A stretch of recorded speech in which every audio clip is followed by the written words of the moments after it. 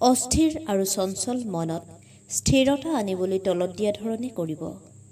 এইদৰে একেৰাহে তিনিবাৰ পাঁচবাৰ সাতবাৰ বা নবাৰ পুনৰাবৃত্তি কৰিলে মনৰ চঞ্চলতা দূৰ হয়। এই প্ৰক্ৰিয়া প্ৰতিদিনে কৰিলে শৰীৰ সুস্থ সবল আৰু মন দৃঢ় হয়। পৰম গুৰু কৃষ্ণগুৰু ঈশ্বৰৰ শ্ৰীচৰণ কমলত শত কৌটি সেৱা জনাইছোঁ।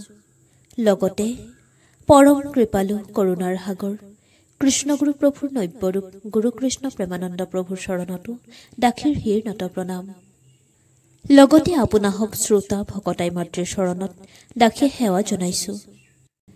ৰৈ যাব পৰা সমস্ত ভুল ত্ৰুটিৰ বাবে ক্ষমা বিচাৰি কৃষ্ণগুৰু প্ৰভু ঈশ্বৰৰ শ্ৰীমুখ নিশ্ৰিত ভকতৰ নিত্য কৰ্ম অৰ্থাৎ কৃষ্ণগুৰু ভকতে প্ৰতিদিনে পালন কৰিবলগীয়া কৰ্মসমূহৰ বিষয়ে পাঠ কৰিবলৈ আগবাঢ়িছোঁ।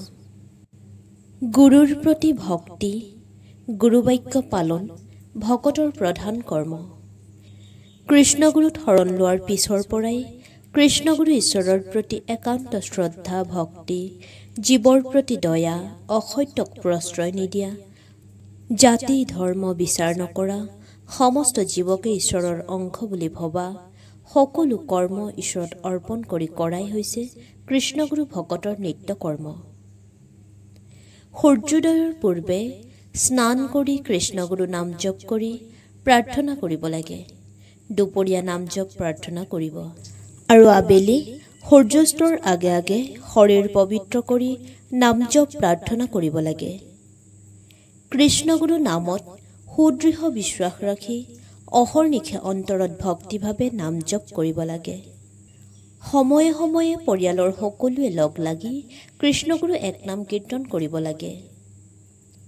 খোৱা বোৱাৰ ক্ষেত্ৰতো সদায় ভালদৰে মুখ হাত ধুই কৃষ্ণগুৰু নাম লৈ ঈশ্বৰক অৰ্পণ কৰি খাদ্যবস্তু গ্ৰহণ কৰিব লাগে। বাহিৰা কথা ভাবি বা বঢ়িমুখী চিন্তা কৰি খাদ্যদ্ৰব্য খাব নালাগে। মানৱ শৰীৰত বহুতো সংক্ৰামক ৰোগৰ বীজাণু থাকে যিবোৰ বিজ্ঞানেও প্ৰমাণ কৰিছে। সেই ৰোগৰ বীজাণু যিকোনো উপায়েৰে সংক্ৰমিত হ'ব পাৰে। সেয়ে য'তে ত'তে খোৱা অপৰিষ্কাৰ পৰিৱেশত থকা ইত্যাদিৰ পৰা সাৱধান হ'ব লাগে।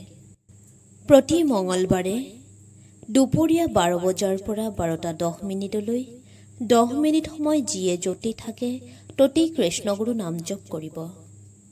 প্ৰতি মঙলবাৰে সন্ধিয়া সাত বজাৰ পৰা আঠ বজালৈ এঘণ্টা নাম জপ কৰিব। আৰু প্ৰত্যেক ইংৰাজী মাহৰ প্ৰথম মঙলবাৰে সন্ধিয়া ছয় বজাৰ পৰা পিছদিনা পুৱা ছয় বজালৈ বাৰ ঘণ্টা নাম জপ কৰিব। অস্থিৰ আৰু চঞ্চল মনত স্থিৰতা আনিবলৈ তলত দিয়া ধৰণে কৰিব। প্ৰথমতে থাপনামোৱা হৈ কৃষ্ণগুৰু নাম স্মৰণ কৰি সাষ্টাংগে সেৱা কৰিব লাগে।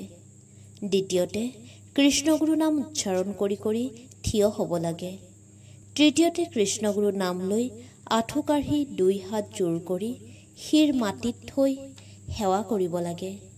চতুৰ্থতে কৃষ্ণগুৰু নাম উচ্চাৰণ কৰি পুনৰ থাপনামোৱা হৈ থিয় হ'ব লাগে আৰু হাত দুখন জোৰ কৰি থাপনাৰ ফালে মেলি দি কৃষ্ণগুৰুক ভক্তি কৰিব লাগে। এইদৰে একেৰাহে তিনিবাৰ পাঁচবাৰ সাতবাৰ বা নবাৰ পুনৰাবৃত্তি কৰিলে মনৰ চঞ্চলতা দূৰ হয়। এই প্ৰক্ৰিয়া প্ৰতিদিনে কৰিলে শৰীৰ সুস্থ সবল আৰু মন দৃঢ় হয়। কীৰ্তনঘৰৰ চাৰিওফালে কৃষ্ণগুৰু এক নাম কীৰ্তন উচ্চস্বৰে কৰি তিনিবাৰ পাঁচবাৰ সাতবাৰ বা নবাৰ প্ৰদক্ষিণ কৰিলে শৰীৰ আৰু মনলৈ সুস্থিৰতা আহে। নাম জপ কৰোঁতে মন নবহিলে বা উগুল থুগুল হ'লে ডাঙৰ ডাঙৰকৈ এনেদৰে প্ৰাৰ্থনা কৰিব লাগে। হে কৃষ্ণগুৰু তুমি মোৰ প্ৰতি সুপ্ৰসন্ন হোৱা। সমস্ত ইন্দ্ৰিয়াদি দেহ গেহ আটাইবোৰ তোমাৰ চৰণত অৰ্পণ কৰিলোঁ। তুমি হৃদয়ত স্থিতি হৈ মোক ৰক্ষা কৰা। তোমাৰ চৰণৰ তলত ৰাখি তোমাৰ নাম কীৰ্তন কৰাৰ বাবে শক্তি প্ৰদান কৰা। জয় কৃষ্ণগুৰু।